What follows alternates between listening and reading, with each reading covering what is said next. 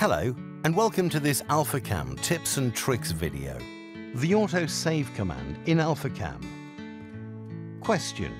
A current active AlphaCam drawing wasn't saved prior to a system failure on the computer with AlphaCam running and installed on it. Can you help? The answer is yes.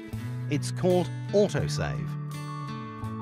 Open AlphaCam, go to the Home tab, Configure and Folders, and then select the General tab. This tab shows the current location of the autosave folder. For this example, it's located in the C colon backslash alphacam backslash licom dir folder. You have the option to map this folder to any location on the computer or any existing network location desired. Go back to the Home tab, Configure, General. On the Settings tab, you will see Auto Save Intervals. By default, this is set to 5 minutes. This can be adjusted to any interval of minutes desired.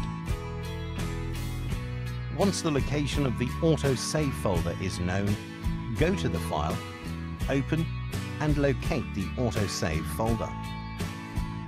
In this folder, there should be three files, 1, 2 and 3. The 3 file is the most recent file that has been auto-saved and the 1 file is the oldest. Please note, if using a network license and sharing the Licom DIR and the Licom DAT folders with multiple users, it is recommended that each user maps to an autosave folder on each individual local computer.